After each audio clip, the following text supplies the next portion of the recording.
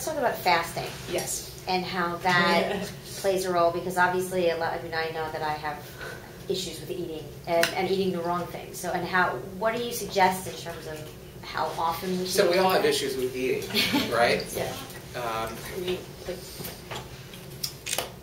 Speaking of eating. for whatever reason. Um, so it turns out that fasting is, a, is an incredible way to target your genome, basically.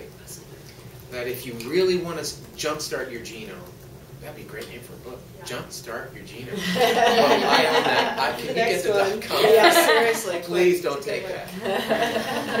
Oh, I want to get that. You're already starting that today, right? Yeah. Pardon me? You're gonna start writing that this afternoon. Uh, jumpstart your genome. Oh, I gotta get that. Anyhow, um, it, and that is to fast. That'll that rocks the Casbah.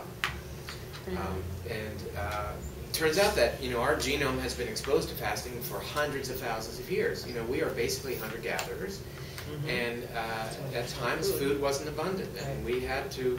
We're not, as I say, the fastest or the or the strongest, but we're the most clever. So we had to develop a, an ability to get through the times of lean, so that we could once again have calories.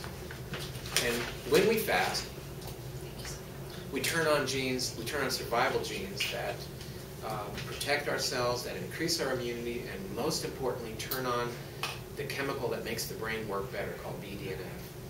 So calorie restriction and fa- fasting especially, uh, you know, the idea that that is good for your health and good for your brain is that the science behind that is just brand new. It, it just was published only 3,500 years ago. So it's hot off the press. so you know, this comes from the Vedic text where they describe upavasa in Sanskrit, which means return to life.